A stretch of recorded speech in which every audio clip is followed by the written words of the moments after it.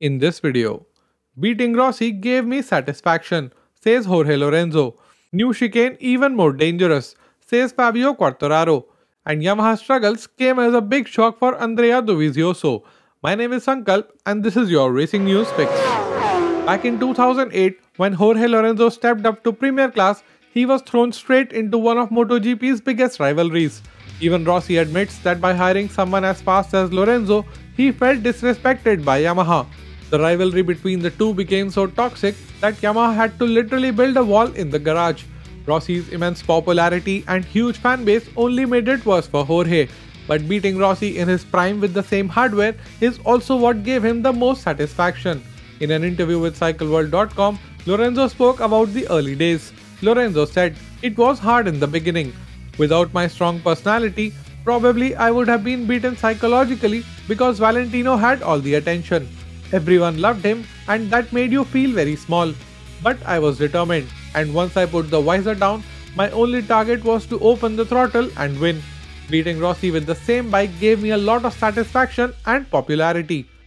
After one of the most terrifying accidents in MotoGP in recent years, the authorities at Red Bull Ring were under pressure to introduce changes to the track layout to improve safety for two-wheel racing. But they could not tinker too much with the track because Red Bull Ring is also one of the most popular venues for Formula 1 being one of the home races for Red Bull sponsored teams. So they came up with a chicane in place of the kink earlier known as Turn 2 which would theoretically eliminate the crazy speeds MotoGP bikes were taking through there. But the reigning world champion believes that the new layout is in fact even more dangerous. In an interview with motorsport.com, Fabio Quartararo said, We will see how the issue of safety is in that chicane because it gives the feeling of being even more dangerous than before the modification. Another reason why Quartararo does not like the new layout is because he thinks it will take away his advantage. Fabio continued, The modification made on the track will not help me because the third corner was a point where I could brake very late. Now turn 3, which this weekend will be turn 4, will be a point where we arrive much slower, so I will not be able to hurry the same as before. And deciding to retire after struggling for almost a year to adapt to the M1, Andrea Dovizioso says that his inability to make the M1 work came as a huge shock to him.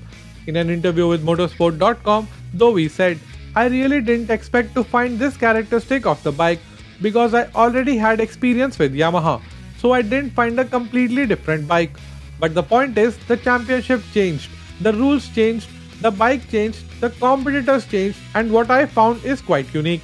And in this situation, we are living now in MotoGP, that characteristic is very extreme. Just in the way Fabio is riding, you can be that competitive, and I didn't expect this extreme characteristic.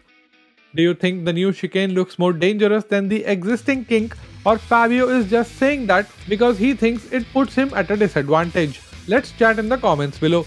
If you made it till here and still are not subscribed, what are you waiting for? Hit the subscribe button and ring the notification bell. And don't forget to check out these two videos which I know you will enjoy.